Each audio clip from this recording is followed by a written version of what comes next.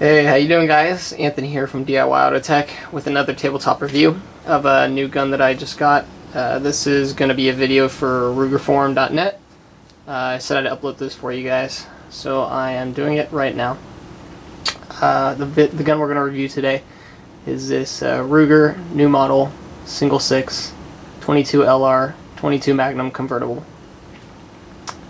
Convertible because it has both cylinders. Uh, before we move on with this video, we're going to safety check the firearm. And we'll do that in front of the camera here for you.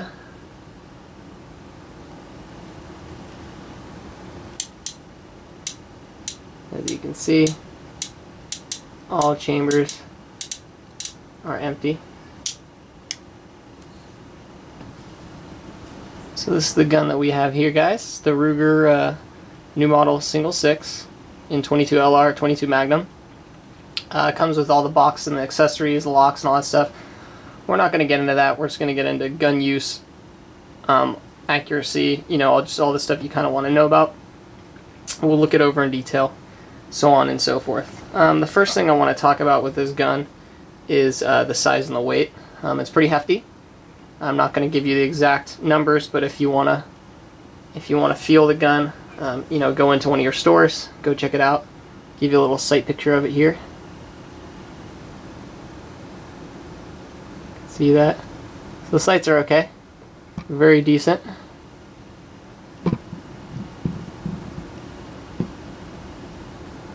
Just like all the other Rugers.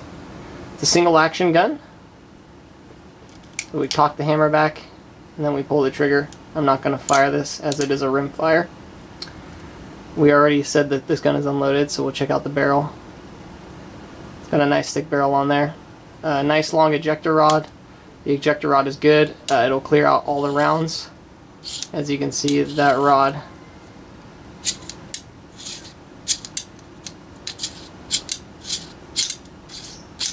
You can start hauling. After a while you get pretty good at it. So that's that. Um, disassembly is really nice too. We've got this base pin right here that we push in. And we pull the pin out and all you got to do is open the loading gate. And the cylinder pops freely out. So let's check out these cylinders here. You can see there's a lot of meat in between each one of those chambers. So you know that this product is going to last a long time. The, main the machine quality is okay. This is a 2012 model. So you can see it has been test fired and it's got the uh, numbers scribed on there that match with the gun. Now this is the 22 Magnum cylinder. As you can see the difference is that it's uh, unfluted. Again, a lot of meat in between the chambers since it's only 6 rounds. And uh, it's pretty nice. We can go ahead and drop this in the gun. We'll do the 22 Magnum cylinder since it does look a lot better. Personally, I think it looks better with the 22 Magnum in there. I like the unfluted look, but you know, you guys can be the judge of that. So let's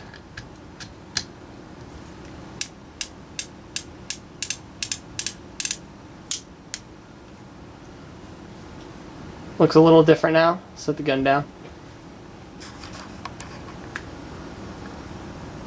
Check out all of its features.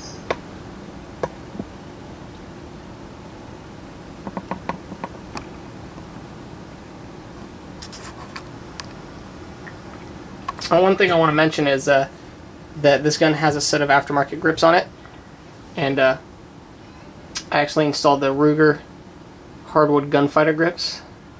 I don't know if you can really tell the difference, but I'll get my Ruger Blackhawk out to show you. These grips are much thinner. They fit your hand a lot better and they're recessed right here, so they start narrowing down. And uh, they really, I mean, they just, your hand just can wrap almost all the way around the whole thing. So, it's a great, great gun. Let me show you the difference. I'll pull out my Ruger Blackhawk here, uh, my 357 Magnum, and we'll safety check this gun as well.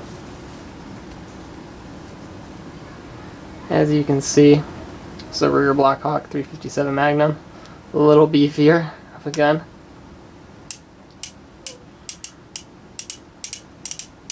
Gun is also free of any cartridges. And if you look at the grips, you can see how much beefier they are, especially down at the bottom. So let's let's do a little comparison. You can see how much meat is taken off and my cat's walking by and decides that this is going to be a good spot to stop.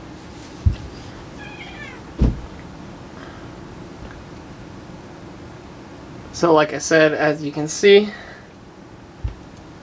the grips are much thinner. And look at the size difference on the gun as well. You got a 357 Magnum on the left, 22 on the right. And these are the same uh, frame design, if you want to call it that. They're both single action Rugers. And it uh, there's a little bit of weight difference for sure. Um, but they're just they're two different guns. So I just wanted to point out the grips that I installed. These style of grips come stock on the single six. These fatter grips. These are just the regular Ruger grips. Um, but you can order that custom set of the hardwood gunfighter grips, the thin grips, from Ruger, and they're around $30 or $40, something like that. So personally, I like the thin grips better on this 22 because it is a smaller caliber revolver. I would like smaller grips, keep everything tighter. Um, in terms of trigger pull, it's pretty good. It's decent. When you cock the hammer back, it's got a hard pull, but uh, you know lockup time is going to be really good with that. Um, the trigger has, I would, I wouldn't say a lot of creep, but it, it could have some work done to it. Throw some Wolff Wolff spring kit at it, or uh, reduce hammer spring, maybe like a 20 pound. Um, you don't want to lower it more than you know 15% because you don't want to lose your drop time on that hammer. Um, in terms of fit and finish, it's pretty good. Um, Ruger is having a tough time getting all their guns out on time. They're on back order, but this gun seems to be pretty nice. So, as you can tell, it looks pretty good. Black front sight. Adjustable rear sight. Nice markings on the hammer spur. Overall, the fit and finish is really nice. I can't complain. But the only spot that looks slightly bad is right in here. It's not flush exactly, but that's alright. Excuse me. Guess all that gun oil is getting into my uh, sinuses.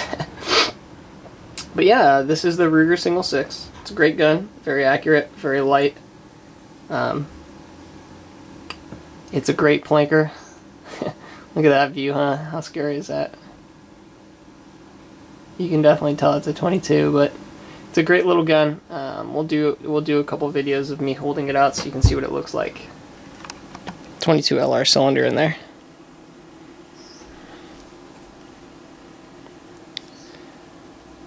Perfect one-handed shooter.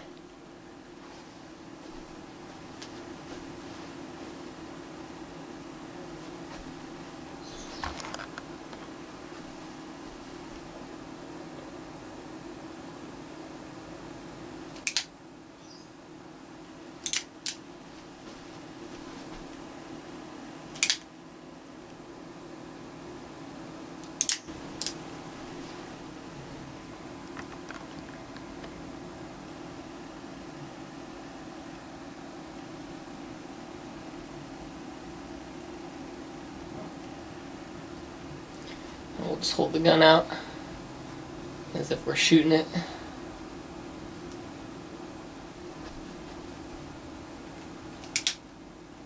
I'm not going to actually pull the trigger.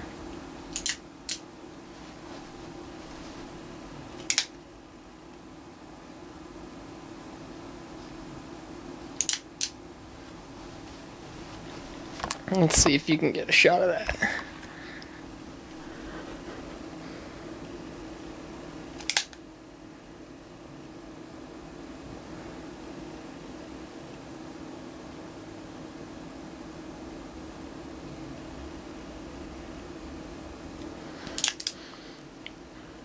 Overall, great gun. It's been another video from Anthony at DIY Auto Tech. See you next time.